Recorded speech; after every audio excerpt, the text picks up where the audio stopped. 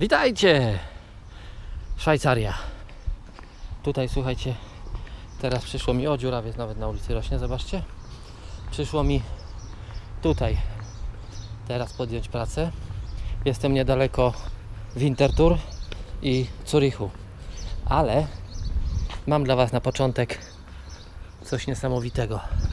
Coś, co po prostu jak przeszedłem i zobaczyłem, to mnie zatkało.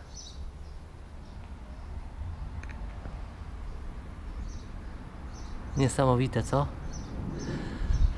Chevrolet Corvette. Nie wiem, który rok.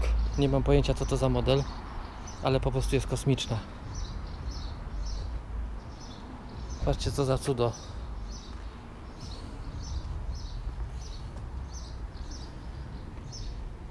Coś pięknego po prostu.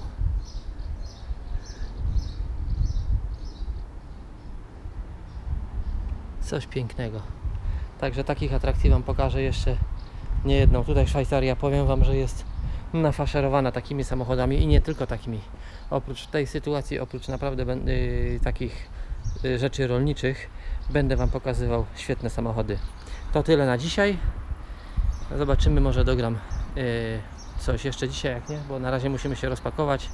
Każdy zajmie swój pokój i, i szykujemy się do y, roboty na jutro, więc trochę mamy po prostu dzisiaj takiego trudnego dnia, bo jeszcze y, słuchajcie, załatwiłem, znaczy załatwiłem, firma załatwiła hotel, ale facet się nie zjawił.